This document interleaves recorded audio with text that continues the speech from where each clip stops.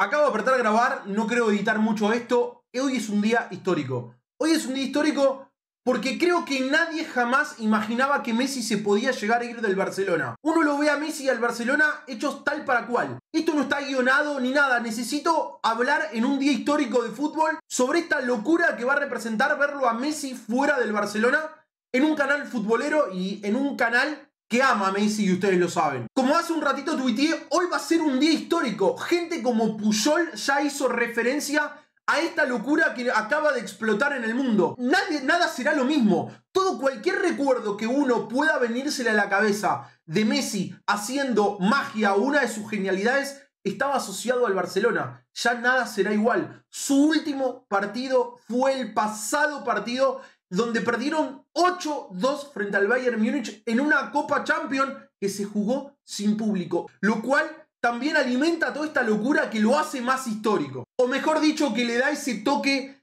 eh, raro a esto, a esto inesperado que acaba de suceder. Hoy comenzó todo temprano con este tweet que están viendo acá en pantalla, un tweet que la verdad no conozco a esta fuente, a este periodista, pero veí que tenía un montón de seguidores e inmediatamente era increíble cómo se retuiteaban y comentaban y generaban favoritos en un tweet. Entonces, por lo cual entendí, luego de googlearlo, que era alguien el cual es respetado en su profesión. No tardó en llegar un tweet que yo sí conozco de Juan Pablo Barsky, este tweet y este tweet también, lo cual ahí sí empezó a, a encenderse la alarma de que, ojo, Seba, esto parece que no es joda. Y la frutilla del postre, como lo vieron antes, fue el tuit de Carles Puyol. Pocos tipos, pocos jugadores en la historia del Barcelona más identificados con el corazón del Barcelona como Carles Puyol, diciendo lo que dice, hablando y confirmando por encima de cualquier otra, otro medio o el mismo Messi, eh, dando a entender de que el final estaba eh, el final estaba escrito. Yo de verdad me pregunto qué es lo que hace esta dirigencia. Toco de oído en un montón de temas, pero estoy convencido de que si hubiera habido elecciones antes de hoy, este gobierno o esta, esta gente que actualmente está al frente del Barcelona hubiese perdido las elecciones. Uno, por lo poco que palpa, se da cuenta de esto. Ni hablar ahora. Ni hablar ahora. Me pregunto de verdad cómo habrá sido el momento en el que Coman y Messi hablaron. Yo no imagino a Messi aceptando que le quiten de encima a un pistolero Suárez. Y no por amiguismo. Digo, Suárez, más allá de que su, su, temporada no fue ni por casualidad una de las mejores, es uno de los cinco delanteros con mejor promedio de gol y mejor cantidad de asistencias. Daba para limpiarlo. Lo hablamos en el último directo mío. Yo en el último directo dije, para mí la salida de Suárez es muy fuerte. No entiendo cómo Messi la habrá pegado.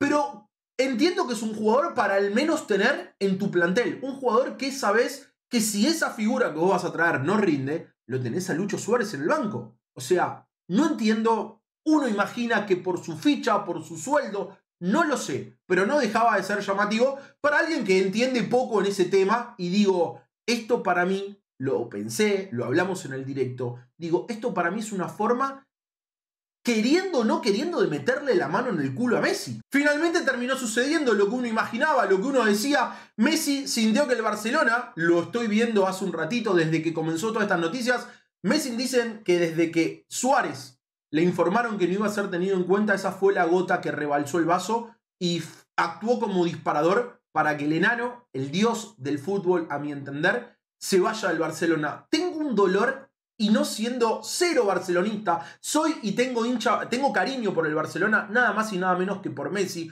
Lo digo, su filosofía del club me encanta, pero me hice alenté al Barcelona nada más y nada menos que por Messi. Tengo un dolor inmenso al saber que jamás, jamás, jamás voy a poder ver a Messi en el Camp Nou vistiendo la camiseta del Barcelona y jugando en el patio de su casa. He presenciado una goleada del Barcelona frente al Real Madrid, un blog hermoso que hice y Messi no jugó, estaba lesionado, se había lesionado su codo en unas jugadas, en unas fechas antes de que yo pueda viajar. Es algo que no, no, es algo de lo cual no me lo voy a arrepentir, pero digo, es algo que no me lo voy a haber perdonado. Digo, tendría que haber ido a Barcelona, haber jugado a Messi en el Barcelona, porque eso ya no va a volver a suceder con la camiseta del Barcelona puesta.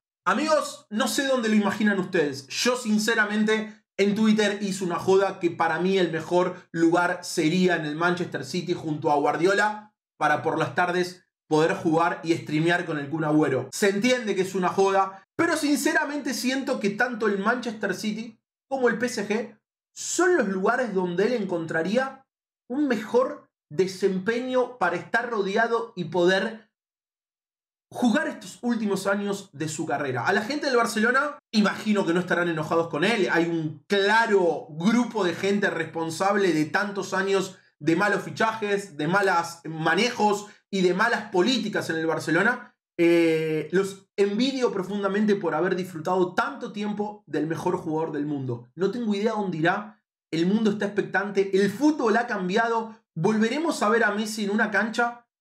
Uno imagina que con otra camiseta, pero no sabemos dónde. Enano, te deseo lo mejor del mundo. Canal de fútbol, necesitaba hablarlo. Y no siendo hincha del Barcelona, porque esto, esto es de todos. Esto es de todos. Lo que ha pasado hoy, amigos, es histórico. ¿Dónde irá Messi?